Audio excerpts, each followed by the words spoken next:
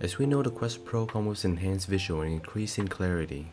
However, when I'm playing standalone games, I notice a lack of sharpness in graphics and text. Despite the Quest Pro being equipped with an XR2 Plus chip, games should run better and clearer. However, by default, the resolution in-game isn't an upgrade from the Quest 2. This is where the Quest Game Optimizer comes in. The optimizer allows you to customize various settings, including resolution, refresh rate, rendering levels, CPU and GPU levels. As a PC VR user, I love the flexibility to tinker with these settings for my standalone games. At times I prefer playing games at their best quality even if it means draining my battery faster. For a slower paced game like Moss, I like to increase the resolution for a more detailed view of the models and decrease the refresh rate to 72Hz for a stable frame rate over a choppy 90Hz experience.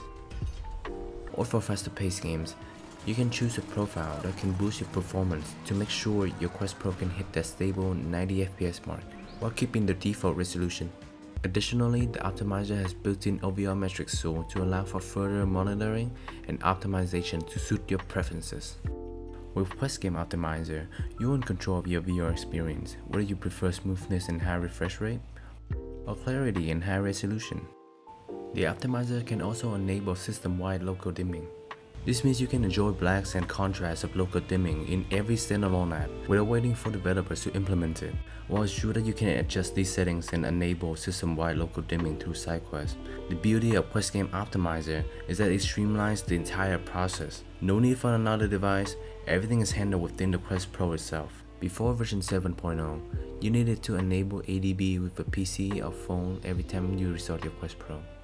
It was hard to recommend people something that requires a PC or phone when this is a software that's made for standalone applications.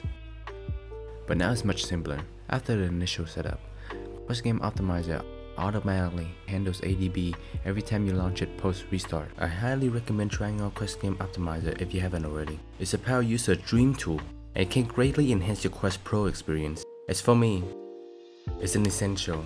Thanks for watching.